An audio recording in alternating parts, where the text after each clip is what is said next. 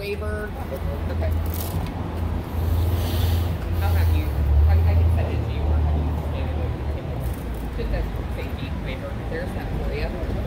And there's that for you. Um, this is really tasty. How long lunch takes? We'll have a little bit of time, hopefully, to shop the square. Um, Yeah. and I'll give you a little bit more information about that as we get towards there. And then from there, we will do the Jack Daniels Angels Share Tour, which is, in my opinion, probably one of the best tours that you can do here Hmm. in the area. So, um, their people are like fanatical about being Jack Daniels people, and they do an absolutely wonderful job. Um, so, any again, my name's Johanna, or just Joe if that's easier. People usually prefer that. Um, any questions? No. We'll get go. Anybody been to Nashville before?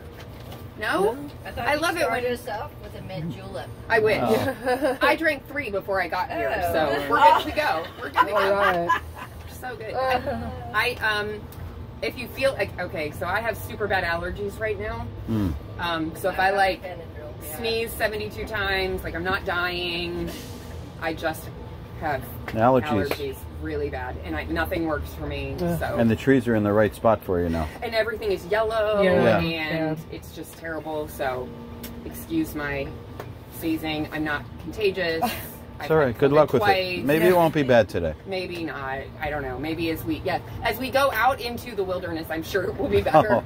I'm sure I'll I'm sure I'll be much better. Yeah. Um but yeah, if you have any questions, let me know. I'll kind of give you a little bit. We're not in downtown for very often, but I'll point out a couple of things, and then as we're going, I'll point out a couple of things. But mostly, we'll just listen to music and enjoy the the ride. And again, if you have any questions, feel free to ask. I love when nobody's been in Nashville because then you don't know if I'm lying or not. So I mean, I can. Just I throw out all kinds of random facts and you wouldn't know the difference. Oh, really? Actually, John will know the difference. So They'll he share will. He will. interesting history. He can of call me out on on my random facts, but um, but yeah, Lying. let's get going. Everybody good? You want any water before we go? Not at all. We're. Sure. Good. Good, Everybody yeah, good? great. Okie dokie. Thank you. Hold this one more time. please. Sure.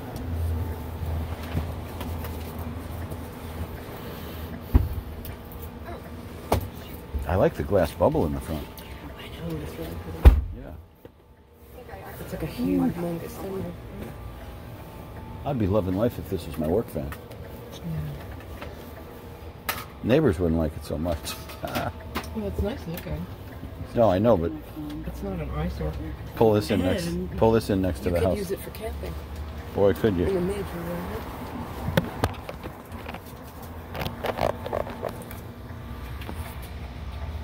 All right. I like these roads. I'm all right with all this.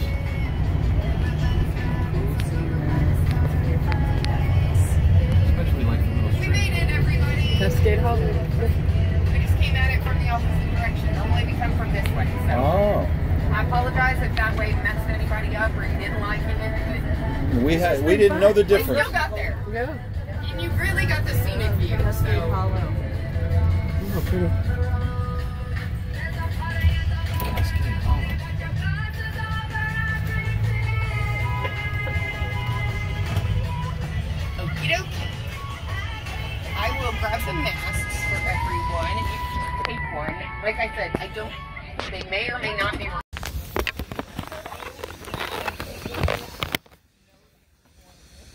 So I lost my mask.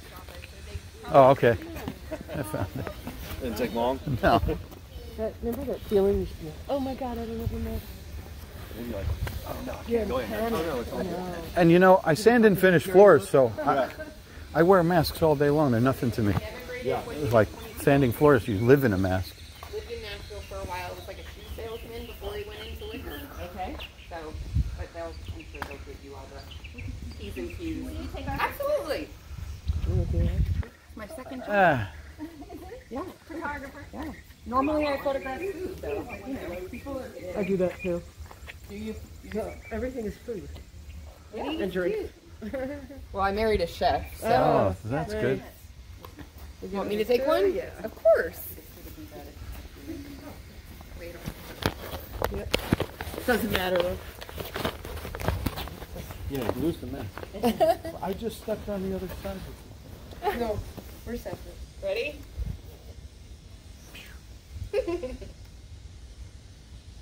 Perfect. See butterfly? Yeah. Yeah. All right. There's your phone. Thank you. Everybody else? We all good? Everybody good? All right. The door says. Okay. No phone. Smells so good. In here. See if they ask us to put these on. Yeah, just okay. They'll let you know. Try some good whiskey and give them good day. Hi there. How are you? All right. Um. So all I need to see are everyone's ID, and I'm gonna trade you for a piece of jewelry. Okay. Good. It'll go with this one. Match it. you mean jewelry? It does smell good in here. Doesn't it? It's very earthy. Wow. Yeah. I wonder if that. What I can smell through Yeah. my congestion. Mm-hmm. That's okay. And the restrooms are just back that way, right in between the fireplace and right under the deer head. hmm Uh-huh. So you know what? Oh yeah. We were gonna get. I could leave it open. That's right, There's nowhere in. Oh, it's so Are you gonna get your jacket? They are this way, so right under this, right under the second deer head.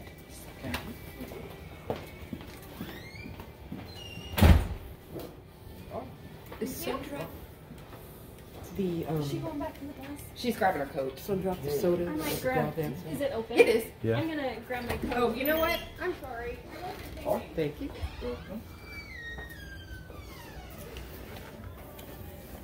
All right. Thank you. Mm-hmm.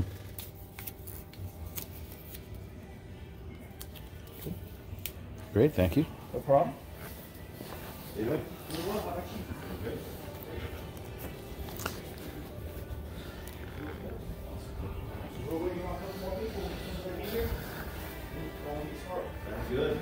I think we should make sure we get something for Chris from Really here. nice.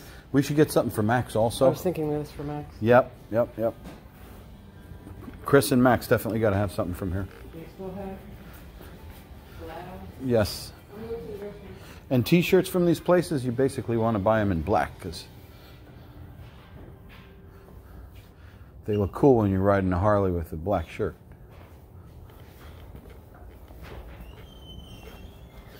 Get one for John, Sue.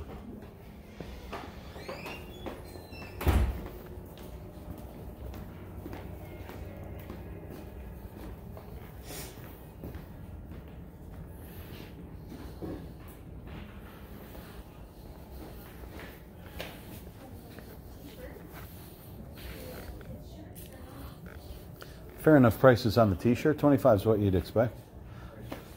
About gonna be it. Yeah. Oh, Good. auxiliaries, gift Better shop. than forty dollars. Oh, where forty dollars at? Uh, every place I don't buy. Yeah, I think we got some clearance ones back there on the little rack. okay, no, that's fine. Because I got a few people. My son, his friend. They start adding up after a while. Yes. See, you like those whiskey sours. I bet you'd like something like that. Mhm.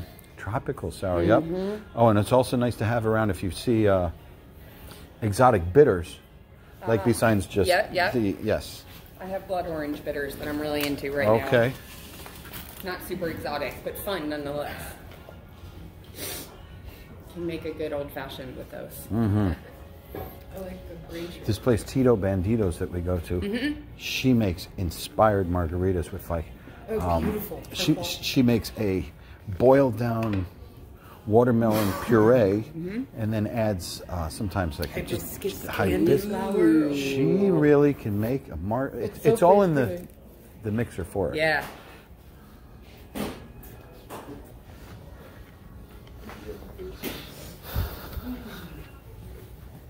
Three button polo. Come on, be nice. Three button polo is forty bucks. I'm worth forty bucks. I'm not buying anybody.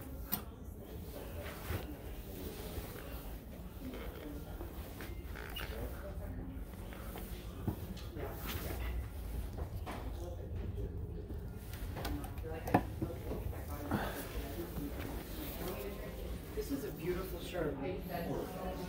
Look at this. Cascade Hollow Distilling Company. Tennessee Whiskey Trail. Yeah, is that the best style? I like it. All right. Do you think this is too big for Chris? It's an XL. Yeah, get him an XL.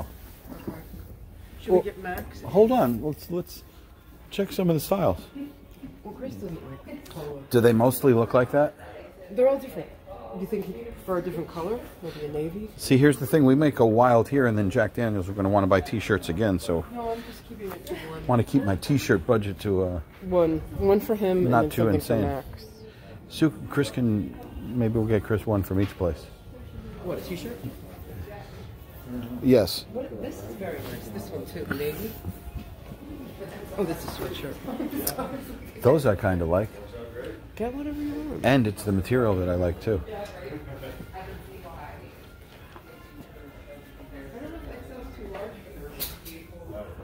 No, definitely not. I'm surprised Chris wears an XL because he's my size.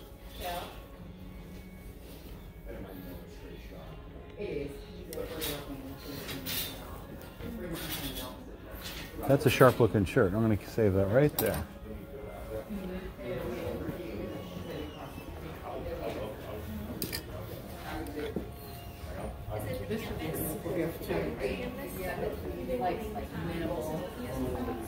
Mm-hmm. Does Max wear bandanas? So what do we do? Do we buy this stuff after the tour or now? Or both? There's a there's a nice girl shirt. This is a nice girl shirt. We should get that for Kelly. Yeah. I like this one. I like things with front and back. That's a nice girl shirt.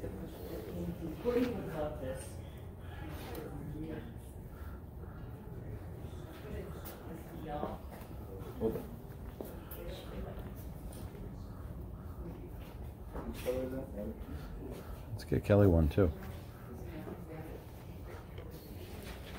I don't know anything about the whiskey though. Hmm? I don't know anything about the whiskey. That sounds like a song. No, seriously, there's a there's a song that's like that. So, something about the whiskey, or it must be the whiskey. I like tank tops, Yeah. but I don't see any.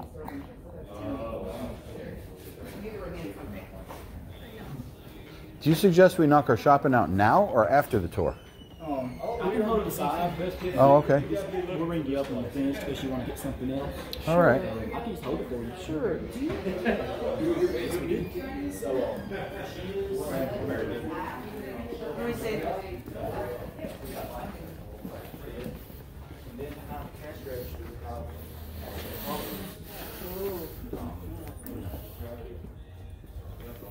These two. Oh yeah, yeah. And if you don't find your size, I'll go ahead and get. Thank you. But I can hold on to that. Yeah, sure. Thank you.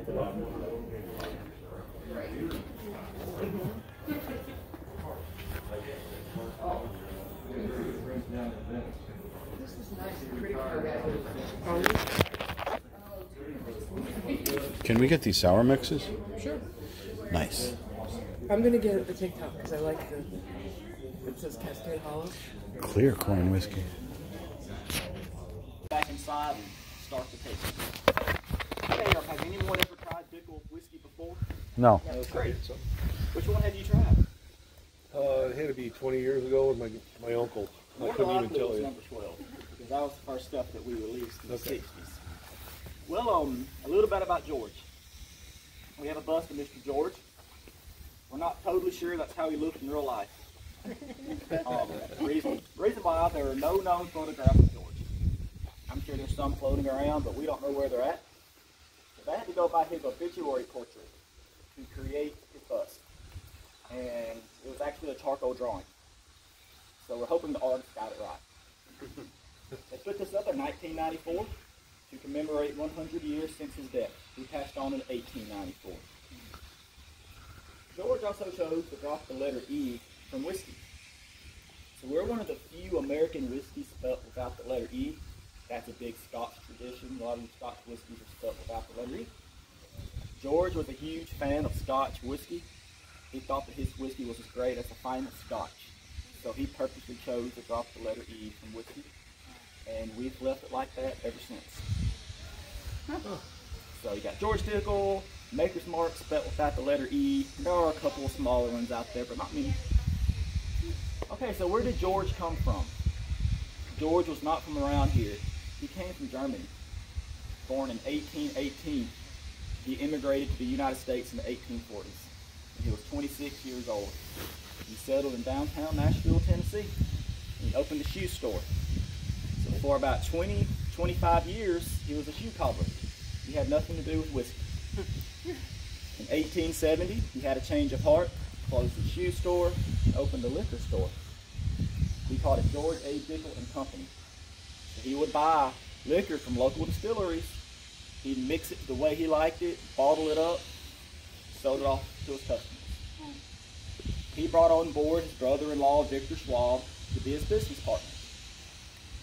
In 1888, Cascade Distillery, located right down the road from here.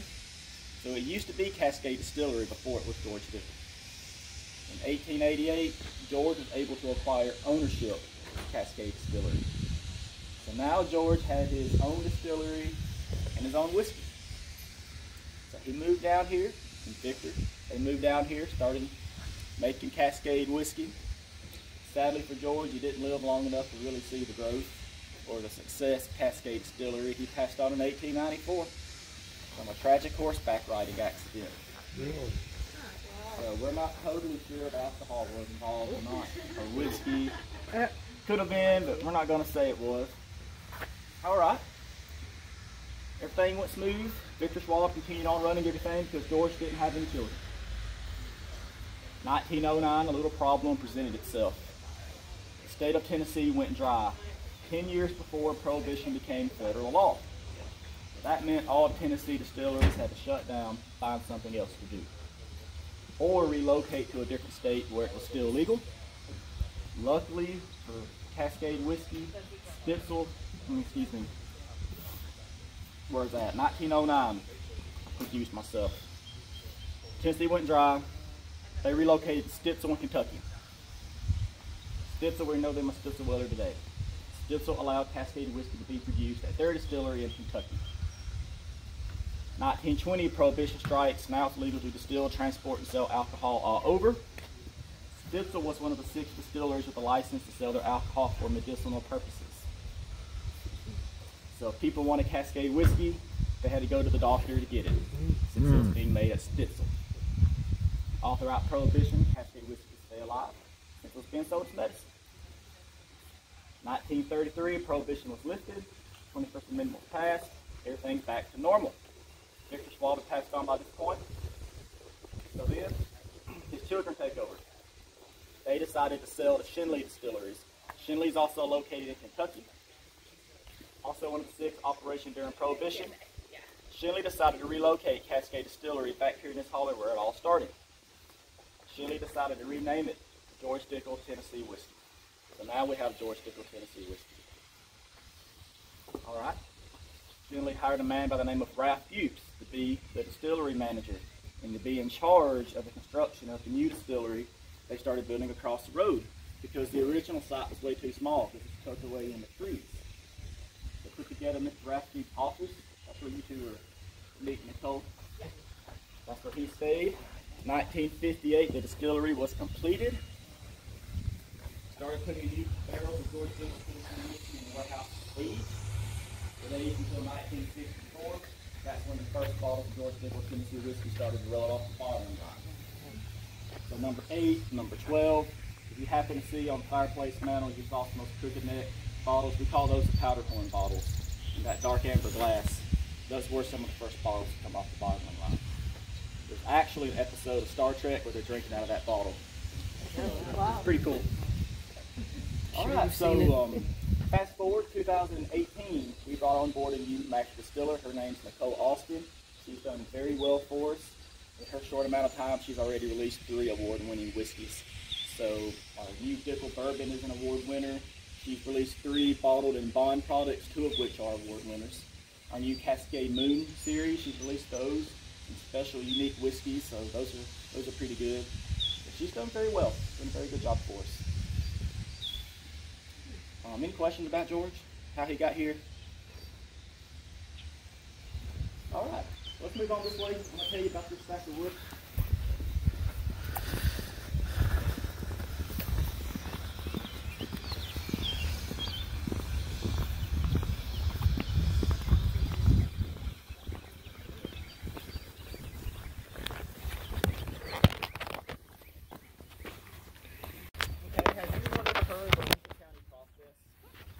What that means.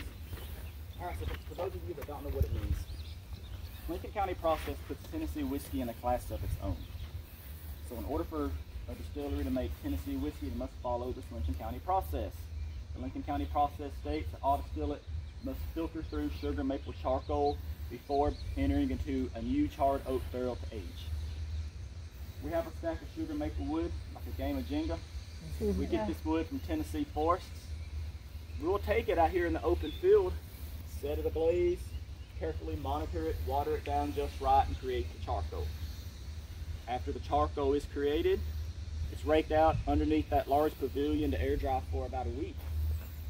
Afterwards, it's all scooped up.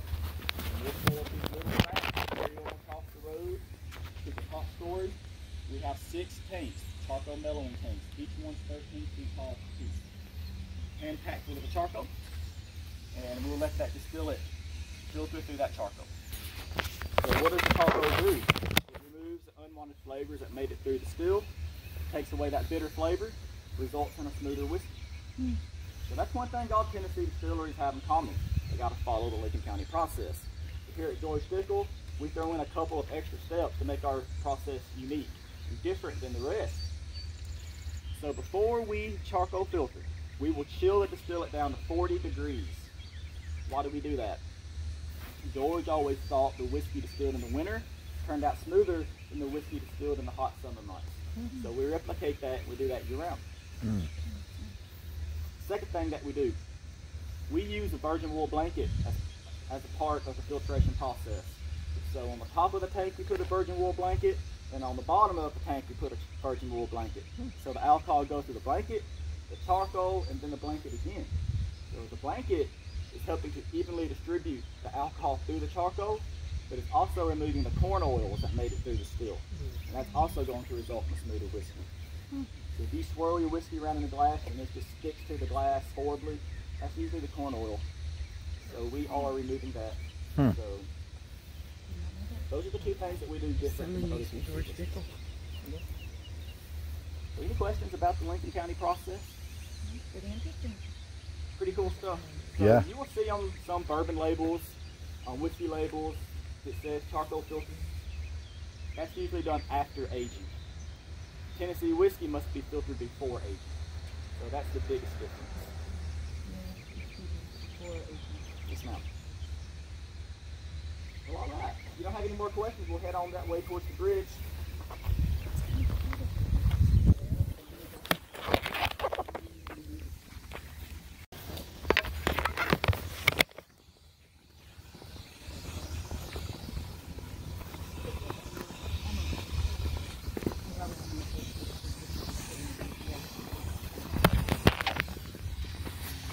We're standing on top of Cascade Spring. Cascade This Spring. is the same water source that Cascade Distillery used to use back in the 1800s.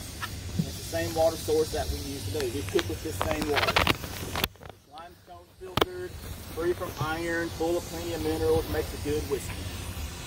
So this is what drew Cascade Distillery here to begin with, this water. There's a trout right there. Yeah. So what I got hanging here, this is an LEL gas detector. So if this thing starts going off while we're inside, that means we cannot take pictures.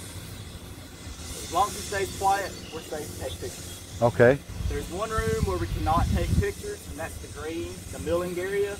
There's a lot of static built up in that room, so we Okay. don't want to take any pictures in there. But I'll tell you before we go in that room. And a couple more rules before we go in. Um, everybody appears to have on good shoes because it's a graded floor. If you have on the heels, it'll be kind of difficult to walk. But we do have black mats, you know, so just stay on those mats and you'll be okay.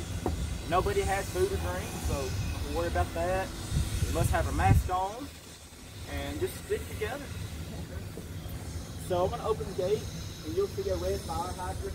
So just wait by that fire hydrant and I'll be done. This stream is this stream is silly with trout.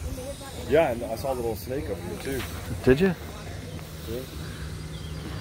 No, there's there's a real size. Uh, oh, where's the snake? Right there.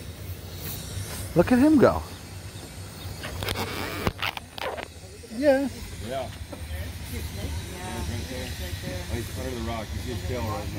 There he goes.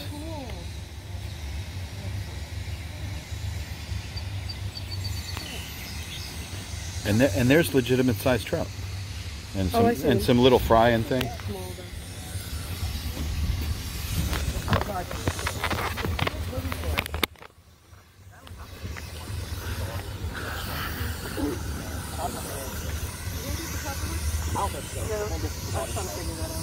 I'll put this in my pocket at the appropriate times when you tell me, okay? Sure. Sure.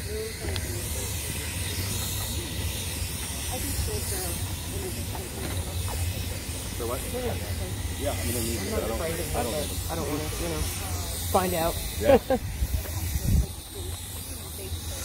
Every time somebody says walk this way, I always say, oh, walk this way. But I always I like referencing the Young Frankenstein one versus the um, you know the song walk this way. Yeah. Tough. Who? I've seen Young Frankenstein. It's been a long time. But Um, yeah, no, he, he's. I, I forget who the actor is that does that. is, is the um Abby Normal. Yes. Who's the actor that does walk? Uh, what was his name? He had the big bulgy eyes. the guy that was in Willy Wonka, right? Is that was he in Young oh, Frankenstein? yes. Uh, Gene Wilder. yeah. Yeah. And then um, Peter Boyle was Frankenstein. And then, uh, was it Marty Feldman? Marty Feldman. Yeah. He goes walk this way, and he walks with a. Quite loud inside. It's hard to hear me talk. Also, I'm going to have on a mask. It's going to make it even harder. so what we're going to do, I'm just going to tell you what you're going to see before we go inside. We'll walk through and check everything out. If you have a question about anything, just let me know and I'll answer it for you. So we're kind of out of orders. Because the first step in making whiskey is to crack the grain, which is located upstairs above the mash cookers. Because the first time we go in, you're going to see our mash tubs. Right above those, you're going to see a chute going upstairs. That's where the corn coming from. First room, you see the two mash tubs. That's where we cook the grain. How do we cook it? We pump some of the water out of our drink. We add something called thin slaw. What's that? A lot of people relate that to sourdough bread, taking some from leftovers, starting a new one. So thin slough is a product left over from the previous batch that we will add to the cooker. It conserves us a whole lot of water. It gives a good flavor. Contains nutrients that's good for the yeast when it ferments. It's called sour mash whiskey. See that a lot on whiskey labels. So we add the water, the thin slough, and corn. We use local corn. It's grown in Decherd, Tennessee, so it's pretty local. That's about 30 miles from here. We add the corn, we bring it to a boil. That releases the cornstarch. We will cool it down to about 180 degrees. We add the rye. We cool it down a little more to about 150. We add the malted barley. So um, there's a couple of enzymes present in the malted barley that's responsible for converting all the cornstarch into sugar. So we don't add straight sugar to it like you see on moonshiners. We let it all naturally convert on its own. After it's finished cooking, we're ready to ferment. So we're going to go upstairs. You'll see nine fermentation tanks. Each one's 20,000 gallons apiece. Um, it smells really good in that room. That's my favorite smelling room. So some of it you'll see rolling pretty good, and that's just the yeast working. We're not, there's no air in it, there's no agitator, it's just the yeast mixing it on its own. So that stuff's pretty fresh. Some of it, you will see a dark yellow cap over it that's formed. That means it's finished, it's ready to distill. So right beside the fermentation tanks, we have a beer well. It'll say beer well on the tank. After it's finished fermenting, it's transferred into the beer well. That's where it holds, and that tank is being fed to the still. After that room, we will go into the grain area, and that's where we don't allow pictures. That's where we grind all the grain, and you will see the meal scale. There's an old-fashioned scale that they've used since 1958, and it's the same scale that we use today. So they will weigh it exactly how they want it. They communicate downstairs by a little button that sounds off an alarm, so when they push that button, they know it's time to open the chute. Feed the cookers. That's pretty cool. Hmm. After that room, we will go into the still house, where you will see the still. We have a three-story tall column still, all copper. You will see a beer line, and it will say beer line on it. That's coming from that beer well, pumping through that line to the top of that still. There's steam coming in from the bottom, and the alcohol evaporates. It comes off that column still at about 120 proof. We distill that alcohol a second time. We have another still called the doubling still, and I'll point that out to you when we get in there. It's kind of hard to see. We go through that still, and the proof will increase to about 150 proof. Also, the flavors are concentrated, so more of those split-free flavors will come through. So we're left with 150 proof moonshine. The final room we go into, it's a little quiet. You can hear me in that room, but that's where the Lincoln County processing is. That's where all the charcoal goes in those six tanks. You're welcome to touch those tanks. They'll be pretty cold because we chill it all down to 40 degrees. There'll be some condensate on it. Those tanks are sweat pretty good. Good and cold. Um, work through those tanks of charcoal. And the skillet comes out, it's ready to go in the. So um, we're going to walk through, and if anything, question about anything, just let me know, and I'll answer it for you. All right, so let's get our masks on. As long as it stays quiet, we're, we can take it.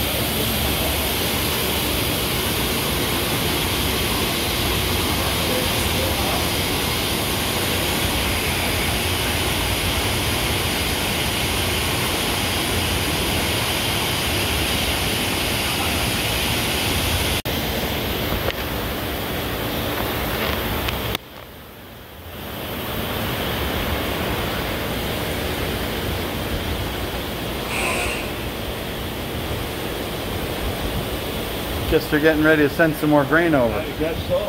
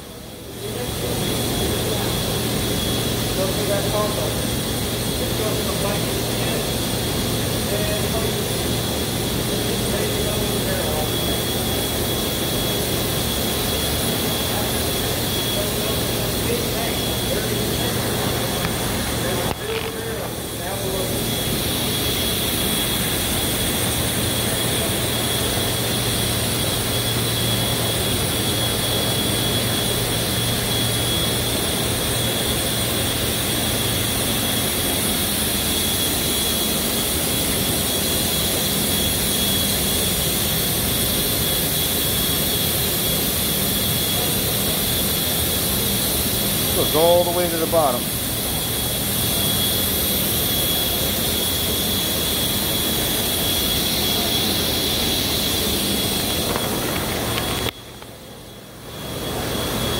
are the wool blankets that the charcoal. Oh, wow.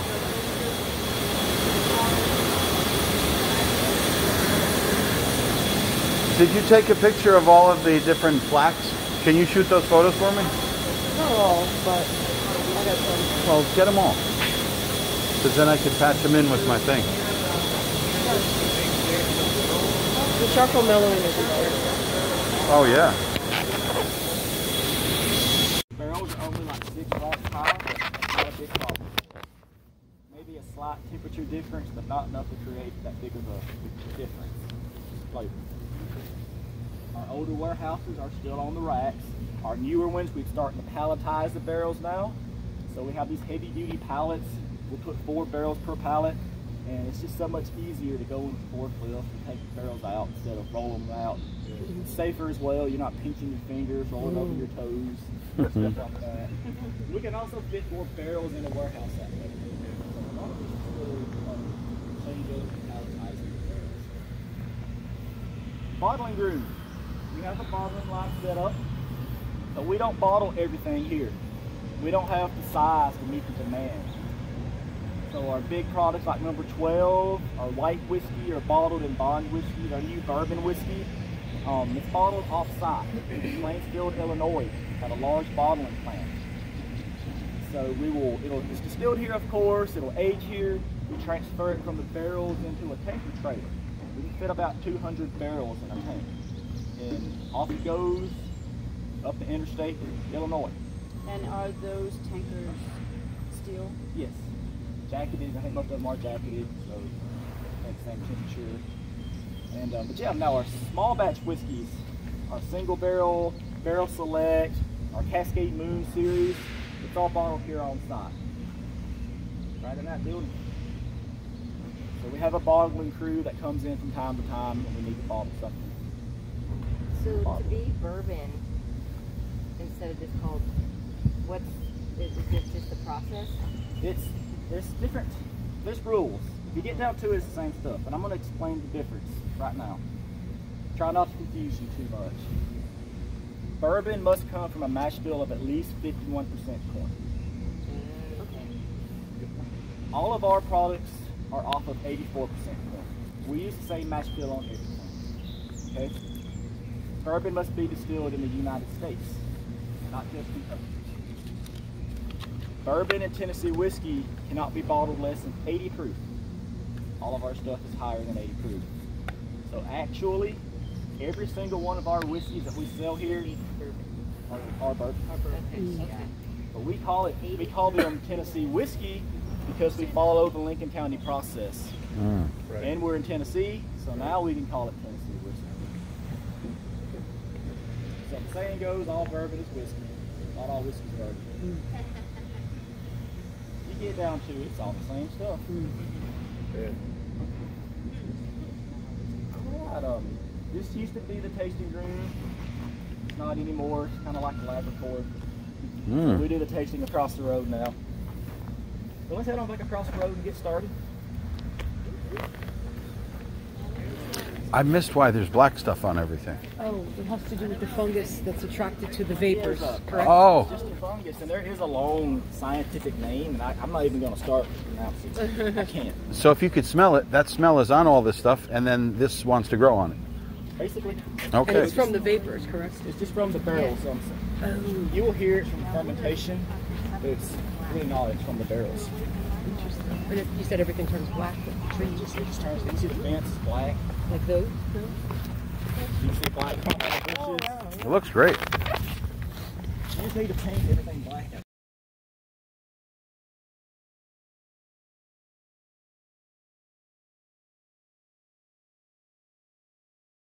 Venomous whiskey snakes. They're they're guarding the whiskey, guarding the water anyhow. There's one Oh, wow, you're right. grass. There's a really big one. He's a decent sized Yeah. Oh yeah. Bigger than the one that was in the water before. Oh, and there's a little one. There's a bunch of them. There's a little one further, like directly up from the big fat oh, one. Oh yeah, yeah, yeah. Wow. He'll put a bite on you. Good eye. Could be a she. Don't walk down to the water, everybody. This is why there's a venomous snake sign. Right there.